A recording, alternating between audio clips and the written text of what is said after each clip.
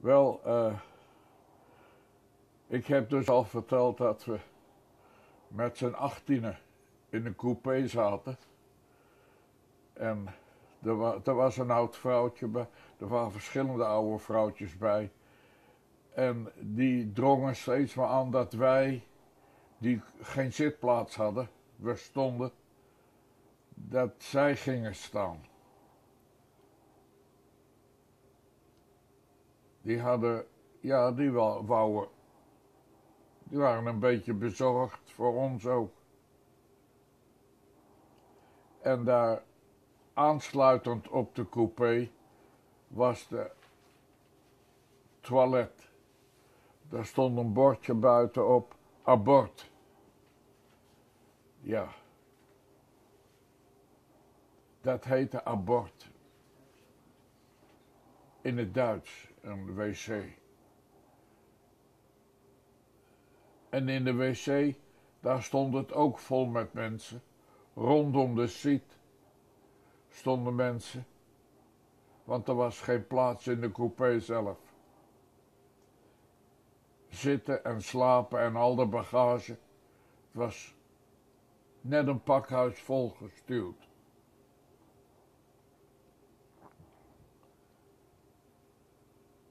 Maar wij waren niet in de goederenwagen. De mensen die in de, in de goederen, de vrachtwagens, de andere transporten, die waren niet uitgevoerd met personenwagens. Dat was passagierstrein waren wij. En de andere transporten, bijna allemaal, daar werden de mensen in goederenwagens gestuurd. Een goederenwagen, daar zaten op tot 60, 70 mensen opgepakt. En het enige sanitair dat ze hadden, was een emmer. En daar moesten ze allemaal gebruik van maken. Zo in, waar iedereen om je heen zag, zaten die mensen op een emmer. Wat Westerbork, de leiding van Westerbork, het enige wat ze konden doen was een fles water neerzetten voor de mensen die drinken wilden. Maar de reis duurde altijd ongeveer drie dagen. Dus een fles water was niet genoeg.